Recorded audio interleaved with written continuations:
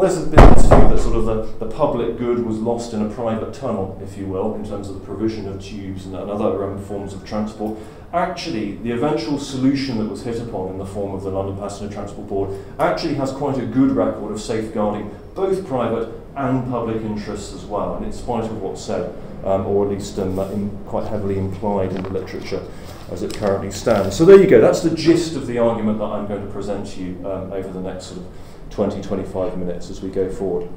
So we're going to start with this man, who most of you in the room no doubt will recognise as Lord Ashfield. Um, in case you don't um, uh, know who he was, well, essentially his role in London's transport began in 1907 when he was brought in by Sir George Gibb basically to shake out um, uh, the more or less bankrupt tube system at that particular moment. And he continued in one capacity or another, but generally in very senior capacities, as the chairman of the Underground Electric Railways of London Company, and then later as the chairman of the LPTB, right the way through to 1948. So his entire career was 41 years. Uh, and he died in harness, actually. He died at work still um, uh, as chairman of the LPTB. And in a sense, his views, um, and as far as they have been recorded, and there is a very extensive private business correspondence available in the TfL archives, have more or less become the gold standard, if you will, by which people like Barker and Robbins and so on have used to support their arguments concerning um, um, London transport. And then probably the most critical quote of all is the one that I have singled out there, because you see this reoccurring again and again and again and again, all the way through the literature um, on the London Underground. And we've just got it there. And here he is, and he says, In my experience, the tube railways have never paid a reasonable return on the capital invested in them. And he made that in a speech in 1924. And I think it's been widely misconstrued. Um, and he's been doubly damned um, in a rather contradictory way, actually. And I'm going to explore a bit of this as we go forward. So, the first thing that's kind of hung around his head um, um, um as a result of this statement is that this is the proof, if you will, the proof that private never works. Because there you have it. You have it from the man himself, uh, the chairman of these various organisations, that tube railways, they never, they, they never give a reasonable return. Well, my first sort of argument about that is that is simply not true. If you dig into the, um, the accounts of the various tube railways, it is not true that they never paid a reasonable return to their shareholders. You find that in the various classifications of shares allocated to different shareholders at different times, you do get tube railways paying 4, 5 and 6% on an annual basis. It's the case. It is also true, of course, that some tube railways paid nothing at all, and we do have to accept that. But that statement has been used as a sort of gigantic roller brush to say that all tube railways, all private tube railways, never paid a reasonable return. And that, quite simply, I think is open to challenge right from the outset. Um, but there is another interpretation of what he said, um, and it's this. You can look at it as a general statement about returns on investment overall. And if you accept, well, if, if you accept that from the outset the, the LPTB on its creation took over about 120 million pounds of working capital when it was set up in 1933, and they could only really afford to pay a four to five and a half percent return on it to the, bond, to the bondholders there. And then you compare that with a company like the Associated Equipment Company, one million pounds of invested capital, returns as high as 44%, or some of the bus companies then you can look at what he says, and perhaps what he means here is not that the shareholders were badly remunerated, but merely that if you sunk 120 million pounds into something, you might hope for something slightly better than a sort of 4 to 6% band for your returns. And if someone can achieve that with only 1 million pounds of startup capital or invested capital, then perhaps they don't, you know, the tube railways do suffer by comparison. So there are different ways of looking at that comment. Now, I'm sure the authors of those books are all aware of those interpretations, um, but I would argue they've chosen to gloss over them, and they've just used that as a kind of a blanket comment about the viability of tube railways in general, without making any of those distinctions. Um, there is a final comment um, that we might, or final set, bit of information I think that's useful um, uh, in interpreting what we have up there, and that is that the year in which and the circumstances in which it was said. So we know that it was given in a speech to shareholders in 1924. In 1924, the UERL and Lord Ashfield were essentially engaged in a battle against what were known as the private, the private buses, pirate buses as they were known at the time. I'll talk more about that in due course. And he was also trying to prove to the government that what he needed to make London Transport work were a series of cheap government loans. Now, he'd already taken a certain amount of capital from the government already through the Trade Facilities Act in 1921-22, but he knew, or he wanted more, essentially. Now, what he could not afford to happen in 1924 was the idea, or the idea to sort of bleed into public perception, that somehow the UERL, or the London Transport Combine as it was known, was this sort of gigantic monopoly that was making big profits on the back of exploiting its monopoly position. So he had to come out, I would suggest to you, and fairly frequently say in public and in various meetings like this one, that they made no money whatsoever, they never had done, and they'd never paid any reasonable money. And the whole idea was nonsense, because if he'd admitted to the case that actually at this point in time he was returning dividends of sort of 5 6%, there's no chance he could have got his hands on the money, I would suggest, from central government. And his whole case against the small scale private operators who were in fact undercutting his business at this time would have fallen down. So his comments definitely need to be taken in context. Um, and there's a very clear context to those comments there. And again, my criticism perhaps of the literature that exists is that again they use this as a kind of all-encompassing flat statement and there is nothing said about what was going on in the London transport scene at this particular moment. So earlier on I said I was going to talk a little bit about efficiency versus effectiveness, and I'm going to flesh that out now a little bit more, um, having sort of set the scene there with, uh, with Lord Ashfield um, uh, and his comments uh, about whether or not transport paid. And in this context, I'm going to say that efficiency is a term that really relates to things like return on investment, um, how much money, I suppose, are you're getting back on your investment in a particular public service. Whereas effectiveness really has more connotations that concern are you actually delivering the things that the general public wants to have? Never mind perhaps whether or not it offers a great um, uh, return on um, uh, the money invested in it. And my argument here is that in the period 1985 to 1933, while London Transport was provided by a variety of, of private um, um, companies, also has to be said, municipal providers as well, they were highly effective uh, at doing a number of things. And you see a short list that I've composed just there. First of all, I'm going to argue that there really was genuine consumer choice in this period in a way that there wasn't subsequently. Once the LPTB had set up, it didn't matter whether you called a tram or a bus um, uh, or a, an underground train, they all ultimately originated back um, to the same company. You could, of course, take a train, um, and then, of course, I suppose, in a sense, particularly the southern region, to a lesser extent, the LNER and the LMS, were in a limited sense com competing on certain routes um, uh, with the LPTB. But in reality, the LPTB was granted a semi monopoly within its operating area. But up until that point, there was genuine consumer choice over different routes that you could take at different times. As a result of that, I'm going to argue that there was a strong record in innovation, and bear in mind this is the period at which steam was phased out and electricity was brought in. There was also a wide variety in experiments, and we can look back on them perhaps with the benefit of hindsight and say that they were rather wasteful, they didn't lead anywhere, about what sort of tube system you really wanted to have. I mean, we know things as basic as, if you will, the, um, the size of the tunnels. There were at least three different attempts to have a look at different sizes. City and South London Railway differed from the Central, the Central differed from the Great Northern City.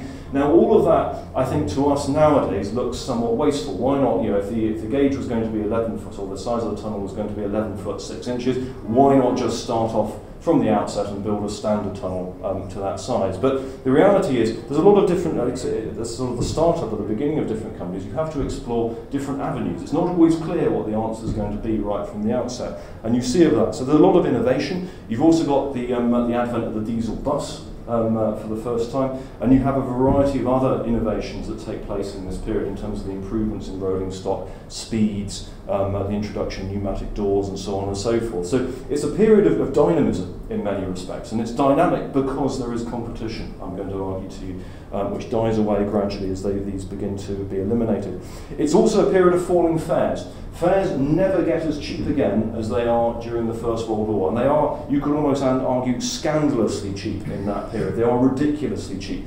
In a sense, they are comparable for that brief period of time um, to fares, say, on the Paris Metro, or on the Berlin Metro, or the Berlin U-Bahn, uh, or possibly even in New York. And the idea there is you move away from a system that perhaps tries to justify its costs or pay its costs or pay its way and return a profit. And you simply say that transport, in a sense, is a socialised service that should be available to everyone for a peppercorn fare. So, very briefly, you get that idea coming forward. And it's partly, again, driven uh, by this idea of competition and trams competing with tubes, tubes competing with buses, and so on and so forth. And you do get falling fares. Um, you get an expanding network, and I'm not just talking about the tube network, which admittedly does not expand um, uh, for about 10 years after 1910, it then begins to expand again in the 1920s, but you get an expanding tram network, you get an expanding, particularly expanding bus network in this particular period. So there's more available at a lesser cost, more or less consistently throughout all of this. Uh, and again, I can't help thinking that that's probably good from the perspective of the consumer. The last thing is probably the most tenuous point in my view. Does this truly represent a shareholder democracy? And if you go and look at the um, the shareholders' book, if you will, um, uh, from the Central London Rail, which is available at London Metropolitan Archive, you can find that very genuinely the people who sank their savings into this really do come from all walks of society. Um, you get ironmongers, you get costermongers, you get butchers, you get priests, you get widows, and so on. You do, of course, also get Lord Rothschild, uh, and possibly his holding might have outweighed quite a lot of other people's. But it's interesting as the organisations begin to develop and as you move towards the LPTB and its successors, essentially the institutions move in and the private individuals move out. But in the early days, particularly of the, the early tubes and so on, you could argue that the people who owned them were quite a genuine cross-section of society. Now, whether that's good or bad, um, I couldn't honestly tell you. All I can say is that their interests were perhaps more expansive, or the people who were controlling them had in, uh, an interest in the, the outcome of their financial operation were a much more diverse set of people in this particular period um, than the American banks, Dutch banks, and French banks even who began to move in uh, and buy them out as the century progressed. So there you are. Um, I leave that there as a, a, question mark about whether they represented a shareholder democracy, but they certainly had a lot of quite ordinary people who thought they were worth a punt. Now, all of this came under a challenge, essentially, really um, almost from the outset in the early part of the 20th century. People who said, look, um, this is not a very efficient way of constructing the tube or governing it for that matter. Um, and everything that I've just talked about in terms of innovation, um, uh, in terms of falling costs and so on, is actually extremely wasteful. Because um, if you put each other out of business, then that ultimately is not a particularly effective way of delivering the services that um, a, a capital city might want. So the idea of competition gradually becomes, moves away from the idea of, um, of innovation, of dynamism, and moves towards the idea of being inefficient and wasteful. Um, but let's look essentially at, at, what happened over this period, because I think this is quite illuminating. Um, and I'm going to look at sort of six different events, one after another. The first thing is the municipal tube. Um, so there were two opportunities to set up a municipal tube. One was in 1907, um, when the private companies essentially had run into a minor financial crisis. And um, Sir Edgar Speyer, um, who was a financier, approached the LCC in that year and said, well, look, do you want to take an interest um, a financial interest in owning the tube. The interesting thing is, is that he was turned down by the LCC. That would have been a moment which municipal socialists, people who believed in planning, um, uh, for all sorts of good reasons, should have stepped forward and said, yes, yes, this is the moment at which we are going to buy London's transport system for the city, and we're going to operate it um, uh, in our way. However, they turned it down, um, but they had another opportunity um, in 1920, and in that year, um, one of the councillors, Mr. Emil Davies, proposed that £5 million should be raised to build a municipal tube here in London. Now, one of the, the myths I run across quite often in the reading is somehow London it uh, doesn't have, never had the powers in the same way that New York had to raise finance to build these municipal projects. That is not true. London did have the powers to raise municipal finance to do municipal projects of this type. The interesting thing is that Mr. Emil Davies's proposal was voted down 37 to 61 by the LCC in that year. So I come back to this idea. The LCC was not blocked from doing these things. Yes, Parliament was suspicious of these kind of projects. I can understand that. It was suspicious of handing over powers. Um, but actually, the opportunities existed. They were turned down. Um, as to why, um, I need to study the minutes in some more detail. But the net result is that the municipal bodies that could have centrally planned on a more rational basis chose not to in the end. Um, uh, and that's something that I have to say is not talked about in the existing literature at all. Um, so then we come to the issue of municipal water transport, and perhaps I think this maybe shines a little bit of light on the suspicion um, uh, of municipal projects because As we know, in, in, the, in 1905, the LCC did take over um, the control on the provision of London water transport, which had become totally moribund uh, by that period, probably on account of the Princess Alice disaster, um, also because of increasing competition from the trams and the tubes themselves. But the LCC stepped up, they said, yes, we are going to run, we're going to put on a municipal water boat service. Um, regrettably, um, uh, for fans of municipalisation, it lost money in every single year, uh, and it was shut down about four years later. I think that's a, it's not a lost opportunity, um, but I can imagine that that incident was hung about the neck of anyone who then spoke up about the possibility of municipalising other forms of transport from then on. So that is a pity, um, but the fact is it happened. Um, it remains the case that the issue over a municipal water transport, and there's a great deal more detail about it than just what I've very briefly glossed over, is almost totally ignored in all the existing literature. That episode just doesn't feature um, uh, in any of the books um, that discuss the, uh, the evolution of, of London transport in this period. Um, the municipal buses, um, I'm afraid they went the same way as the municipal tube. Um, it was voted down. Um, reasons I don't know, possibly related to the municipal transport, water transport fiasco, but there it is. But again, the opportunity was there, it was rejected. Now, trams, of course, are the exception, um, because we know that the LCC did operate um, a very successful, I would argue, um, uh, tram operation over this period. Um, one little piece of interesting um, evidence I've dug up about this is that they were always held, quote unquote, not to be profitable. Now, I think there are immense difficulties with the notion of profitability in uh, a socialised, um, uh, I suppose, or the socialised provision of public services. But what I did discover is that between 1898 and 1905, the, uh, the tram service actually handed over over £300,000, which is a much larger sum of money then, obviously, than it might seem to us now, in what was called ratepayers' relief. So, in fact, the, um, the trams were basically being bled to keep rates down um, over that period. Um, and I think people who then said, well, you're not making any profit, um, neglected a, a sort of variety of funds, including that one, um, um, uh, which money was effectively being siphoned off into. So I think the evidence here was highly, highly politicised. Um, I think that's probably the thing we can take away from that little piece of evidence um, as we, when we look at this issue. Again, no mention of that um, in any of the books um, or, or um, uh, uh, literature on the topic. So those, if you will, are kind of the practical examples of what was going on at the time. Um, I'm now going to move to some sort of the legislation um, uh, that was um, happening in the period. The first thing is this thing, the Kennedy-Jones report. Um, this was a sort of pretty high level um, um, piece of, not legislation, but a report that strongly suggested the setting up of a London Traffic Authority in 1920, basically modelled on the, the Metropolitan Transit Authority uh, over in New York. It was rejected, uh, and perhaps unsurprisingly, but again, another opportunity to do this turned down. Um, in 1921, um, the Ullswater Commission was set up, and its job essentially was to reform London government. Now, none of this necessarily had any direct impact, shall we say, on the London transport scene, because transport was just one of the many public authorities that the, or public duties, I should say, that um, um, Ullswater was sort of set up to have a look at. Um, but in a rather sort of humiliating result, um, the London boroughs and, and the LCC were just completely unable to make any kind of coherent case for a more, shall we say, rationalised, uh, perhaps a more socialist approach to the governance of London. And in fact, the committee considering it split not two ways, but three ways in the end. Uh, one minority report said that actually we should just keep the existing system and set up one or two more ad hoc bodies to provide water, gas, uh, transport and one or two other things. Another minority said, no, what you actually need is a much larger LCC um, uh, to take in a far larger geographical area, and they should be charged with the provision of things uh, like transport, um, like lighting, like sewerage, and so on and so forth. And then finally, another minority said, well, actually, what you need is bring in more councils like Hertfordshire, Essex, and so on into the Greater London area, and we should run those as a, a sort of much larger and extended Greater London Council. Now, the result was that because they presented this uh, forward to Parliament and there was the three minority reports, it was just thrown out straight away.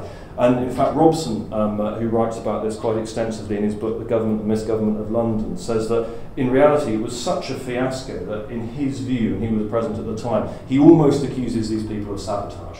in reality. It was so incompetent and so badly presented uh, that it was effectively just laughed out. Uh, and you have to look back and say, well, this in reality was a huge missed opportunity in many ways to rationalise the provision of public services in general, but obviously including transport in London. And again, it was missed, essentially.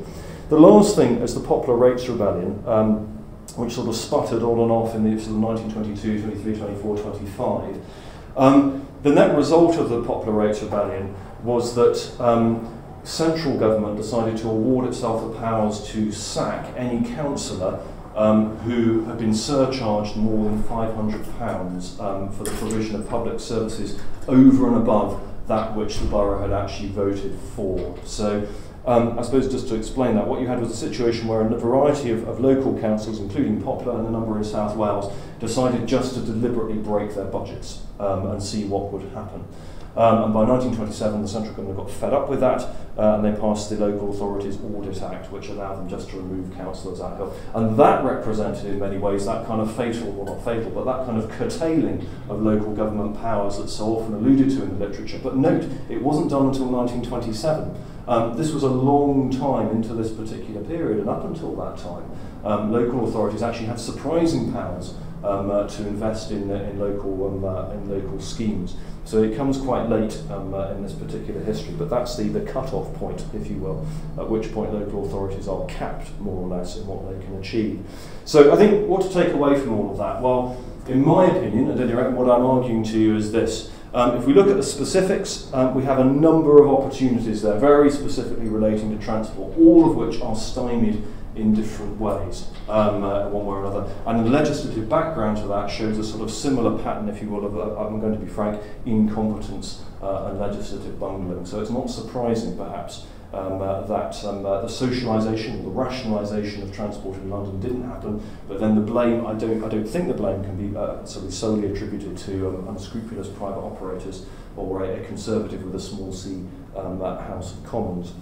So what eventually did um, uh, trigger um, the, uh, the arrival of the London Passenger Transport Board. And I'm going to argue to you it was really one particular episode in 1923-24 uh, known as the Pirate Bus Mania. And so having rejected um, socialisation, having rejected centralisation, rationalisation, um, there was then a sort of brief episode when the, the, the free market was allowed its last hurrah. Um, and um, this, I think, largely arose from the, as a result of the large number of men who'd been trained as drivers um, in the First World War. The service, the Army Service Corps expanded from six and a half to about 350,000 men. They were all demobilised, uh, and at the same time, a huge number of ex-army trucks spilled onto the uh, spilled onto the market. And it was very, very easy set up a one, well, I suppose a three-man bus company uh, with one bus uh, and start effectively to go busking more or less on the streets of London looking for um, looking for trade. Um, and between 1922 and 1924, the number of buses on London streets jumped from 3,100 to about 4,500. 50%, quite a remarkable increase. And there began to be a sort of variety of incidents that are quite well catalogued uh, concerning you know, buses changing direction when they saw the more profitable um, uh, sort of larger queue of people hove into view in one direction. A number of rather unpleasant incidents, um, some involving physical violence, people removed from buses and so on and so forth.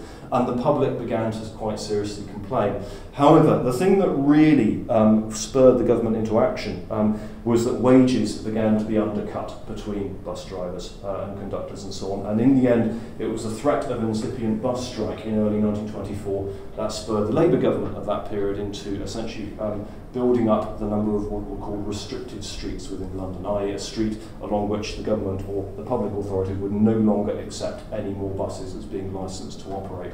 When they passed the legislation, they promised that, oh, quote, only a few streets would be available. However, quite quickly, pretty much everything within what we now call Zone 1 was nominated a restricted street, and bang um, uh, went the, uh, the small private operators. By 1927, the same year as the, um, uh, the, the Local Government Audit Act, you only had 150 buses left um, that were not run by the combine in one way. So the little experiment in the private sector was done. Um, that, I think, probably concentrated people's minds. Um, there certainly seems to be quite a lot of evidence in the archive about questions in Parliament, and you go into Hansard and have a look at it, and people found the London bus mania an unacceptable solution, to, um, uh, to public transport within, uh, within London. Certainly, think back to Lord Ashfield back in 1924, um, this would have been disastrous for him if it had been allowed to get out of hand or continue any longer. His fares were being undercut, and there was an incipient strike um, coming in. They had to be stopped. So what was put in its place? Well, eventually, this organisation, the London Passenger Transport Board, which to my mind at any rate was unquestionably um, an early example of a quasi-autonomous non-governmental organisation. There's a huge amount of quite interesting research, I think, that I'm going to have a look at, um, uh, looking at the effectiveness of quangos as public um, service providers, which you can uh, compare and contrast the 1980s to the 1930s. Um, but for our purposes here this evening, I, I think my third hypothesis was that it was an effective safeguard of both the public and the private interest. And you can see that um, most effectively in sections 3.1 and sections 3.4 right there in its, um, uh, its, its parliamentary act there.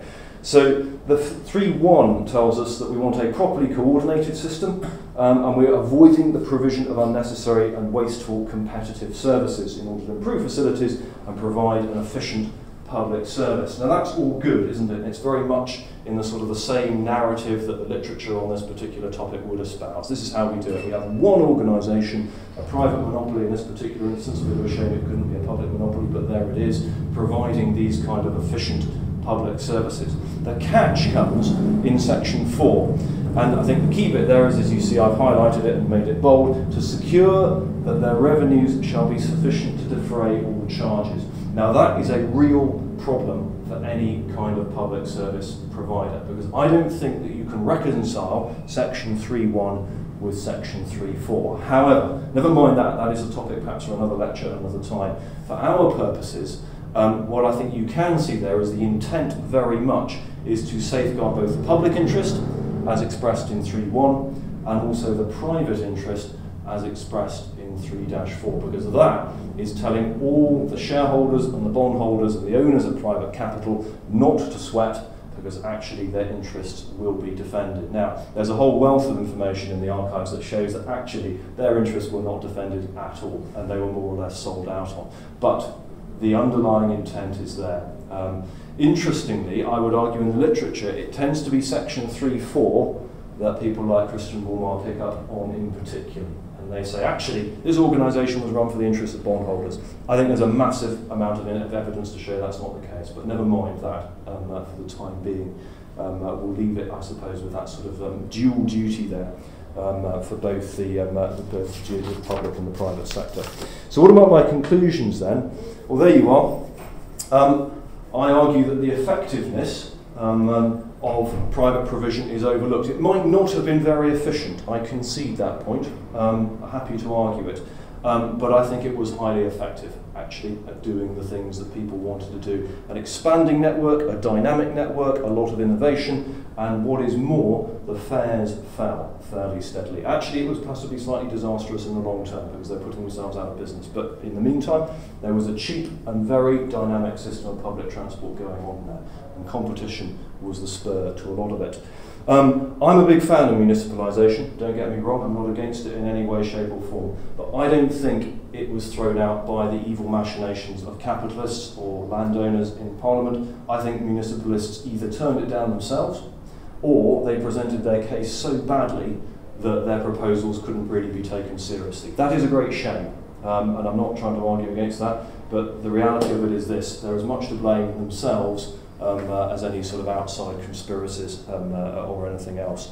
And finally, I think whilst the LPTB had its flaws, I think you can see in its founding document that actually it was an attempt to secure both the private interest and the public interest as well. And you know, certainly my PhD, I will be arguing that it did a pretty, it did as good a job as it could of doing those two things. They are quite contradictory and they set the organisation up with certain irreconcilable goals. But there it is, as a statement of intent, it does quite a good job, I think, of trying to balance both those conflicting interests in the governance of public transport in London. So I'm going to um, conclude at this point. Thank you all very much indeed. Happy to take any questions.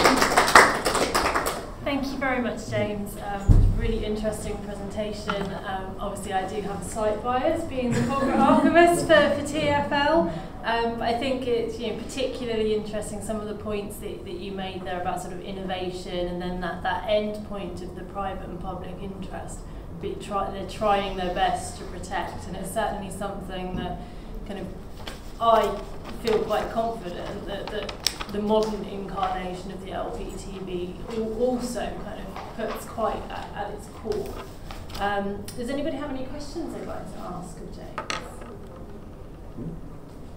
Well, now you, you titled this talk, Who Shall Guard the Guards?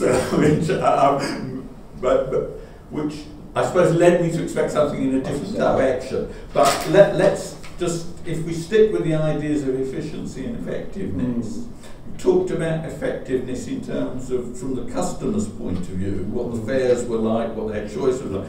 Can you say a bit more about effectiveness in terms of the employee's point of view and yes. the effectiveness of actually managing employees. Because the only point that you talked about was the threat of the power buses undercutting Mm. fares and Yes. uh, undercut, You're- wages. You're quite right. I, I have neglected employees and all this, but I can talk. I can talk about them. I'm sorry they weren't part of that.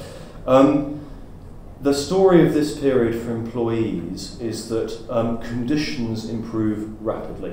Um, I mean, there's the there's the railway strike just after the First World War, and you find that hours spent on the job diminish quite rapidly. I think off the top of my head, the average diminishes from 56 hours to 48 hours a week. It's quite a big drop.